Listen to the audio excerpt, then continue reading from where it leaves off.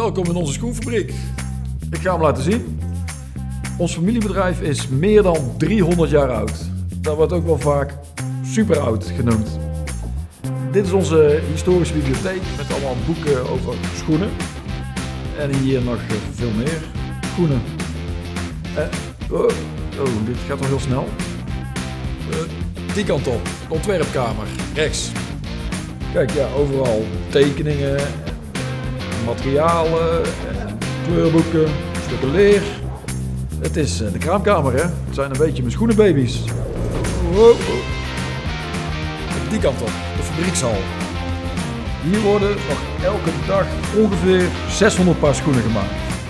Als we zwikken, dan trekken we de bovenkant van de schoen over de leest. En dan hier langs de band eh, wordt het gelenk nog gezwikt. En we kleuren de schoenen ook nog echt authentiek met de hand. Deze mevrouw hier te doen. En eh, een stukje verderop wordt de binnennaaistijk gelegd. Niet. Het is allemaal nog echt gespecialiseerd handwerk. De race drone. Dat ging maar net goed daar geloof ik. Eh, en dan duiken we hier het leermagazijn in. Met eh, allerlei stellages, met leer. En hier al de stickerij met mooie authentieke stikmachines. En de snijderij. Super mooi. En hier om de hoek de logistieke afdeling en het magazijn.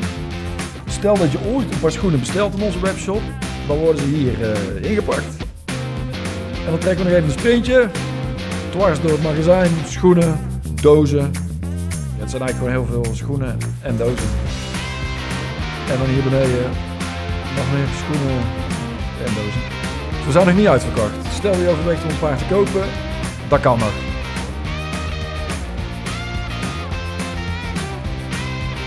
En hier verlaten alle schoenen de fabriek. Dan zwaai ik altijd nog een keer. En dan is het kwestie van loslaten.